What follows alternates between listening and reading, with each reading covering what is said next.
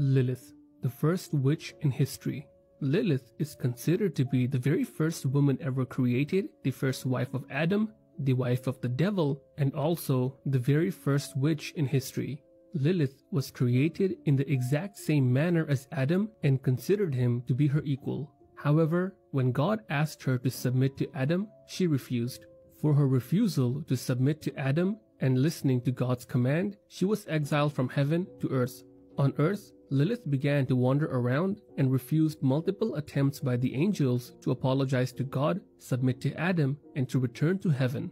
For her actions, she was forsaken and cursed. This was the start of her journey to becoming a demon.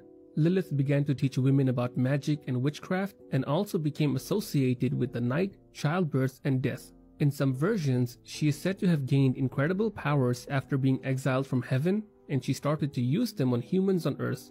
Over time, Lilith went from being known as the first wife of Adam to being known as a very powerful demon who could also use magic and witchcraft. Eve was not Adam's first wife. According to Jewish folklore, Adam had a wife before Eve and her name was Lilith. It is said that God created Lilith at the same time and from the exact same earth as her husband Adam, which is why Lilith considered herself to be equal to Adam. However, she was forsaken by God and banished from heaven after she was told by God to submit to Adam, which she refused because she considered herself to be Adam's equal.